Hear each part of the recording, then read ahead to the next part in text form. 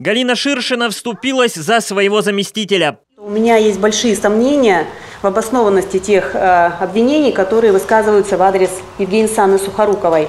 Евгения Сухорукова ждет приговора суда. Ее обвиняют в превышении должностных полномочий в сфере экономики. Дело возбуждено два года назад. По версии следствия, Сухорукова, исполняя обязанности главы администрации Прионежского района, отдала под коттеджную застройку ценные сельхозугодья. Своими действиями бывшая прионежская чиновница, ныне работающая в Петрозаводской мэрии, нанесла крупный урон бюджету. Галина Ширшина выступала на процессе Сухоруковой в качестве свидетеля.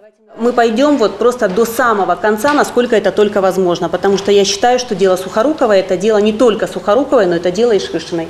Ширшина считает, что по статье Сухоруковой под суд может отправиться любой начальник. Мотив прионежского мошенничества по версии следствия – ложно понятые интересы службы.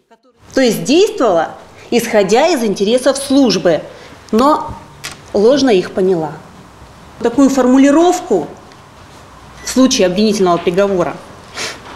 Можно будет приставить какому угодно решению, какого угодно чиновника на пресс-конференции не прозвучало сенсационных аргументов в пользу невиновности Сухоруковой. О самых тонких местах уголовного дела уже шла речь в ходе недавней пресс-конференции непосредственной фигурантки процесса. Главным образом защита Сухоруковой строится на заявлении о том, что отданный ею под строительство дач кусок прионежской земли на самом деле не имел заявленной следствием ценности. Якобы мелиорация там прошла в далеком 91 году С тех пор землей никто не занимался. И более того, участок был продан совхозом частнику. Экспертиза показала, что мелиоративная система не действующая. И срок ее вообще существования 15-20 лет, а в канавах на этом земельном участке высота деревьев 10-15 метров. Якобы Сухорукова, будучи профессионалом-экономистом, просто подписала документ, составленный ее специалистами.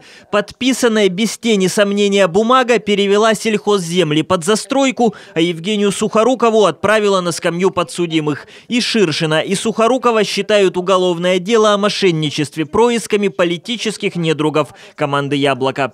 Сторона Евгении Сухоруковой уже готова опротестовать решение суда, если оно будет не в их пользу. Я делаю то, что я считаю нужным в своей должности, на своем месте, и я не буду отказываться от Сухоруковой. Гособвинение требует отправить Евгению Сухорукову в колонию общего режима на три года. Приговор суда должен прозвучать в начале ноября. Александр Гнетнев, Александр Борисов, телеканал «Ника Плюс».